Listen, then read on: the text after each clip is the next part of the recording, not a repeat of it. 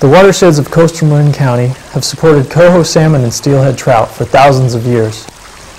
In the last 50 years, throughout the California coast, we have witnessed a dramatic decline in fish populations.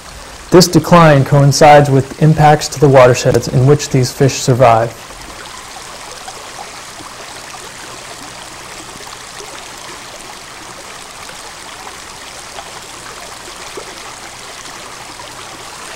In 1996, the National Marine Fisheries Service listed coho salmon as threatened. The Park Service started a project to find out how many fish they had and how they were doing within the, the watersheds within the parks. As things went on, we learned more and more about the fish and sort of all the habitat that they used. And a lot of the work that we've come up with has shown that these populations in uh, coastal Marin County are sort of the southernmost stable populations of coho in their range. Coho salmon have always been thought of as being weak because there are fewer of them around and they're harder to find. But really what we found in, in watching them is that they're the more aggressive, the more dominant fish when you have steelhead and coho together. Coho salmon have a uh, pretty stringent three-year life cycle. Um, starting from the adult phase, um, November, December, January is, is, the period of time where the adults come up into the freshwater streams to spawn. Um, for the adults, they've spent about six to 18 months out in the ocean, and they've got about three weeks to enter the freshwater, find a place to spawn, and um, do that before they pass away.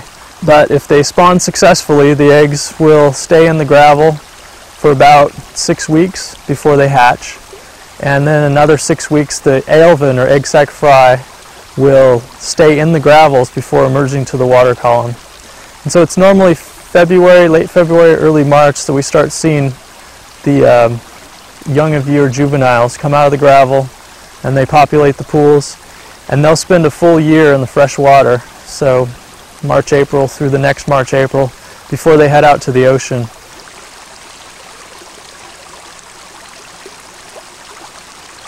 Steelhead trout, they can live anywhere from one to three years in fresh water, sometimes four or five, before going out to the ocean.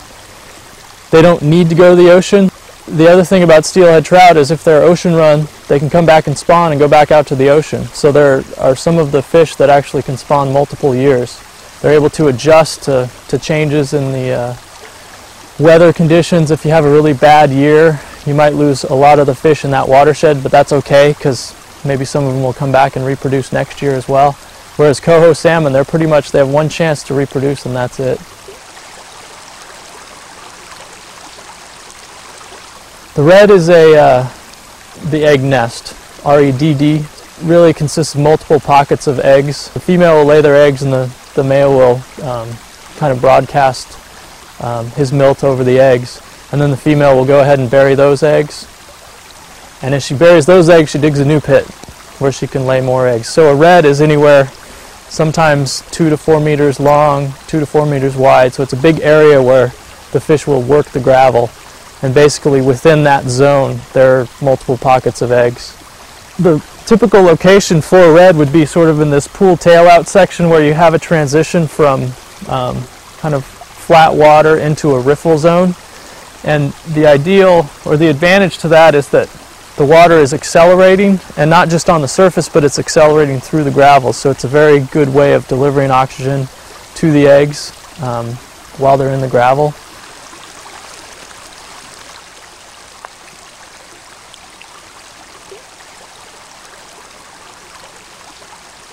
When we started this work we were really focused in on, on uh, coho salmon and steelhead but we found everywhere we looked we'd find steelhead and and coho were few and far between.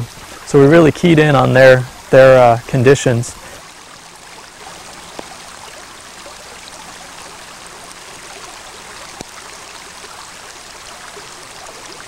John West Fork is the largest tributary of Olema Creek, and in 1997 we started looking at that watershed and saying, gosh, this has lots of potential.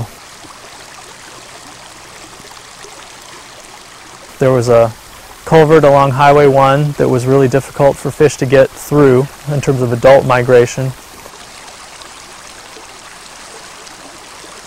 So we're on the John West Fork of Olema Creek, and this is a riparian exclusion zone that we constructed in 1997 in cooperation with the, the local rancher. Um, prior to the fence being constructed, the creek bed itself looked much like the, the area over here to the left where we have um, regular livestock access. In cooperation with the rancher, we were able to, to protect the riparian zone um, but what we need to do is provide uh, access to other pastures that the uh, cattle use.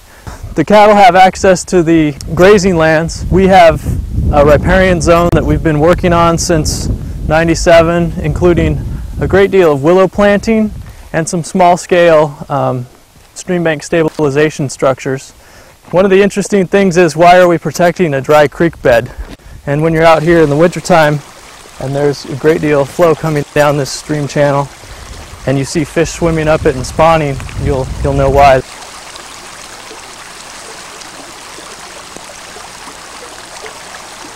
Here at Point Reyes National Seashore, we monitor and study coho salmon and steelhead trout as indicators of watershed health. The survival of these fish is the survival of California watersheds.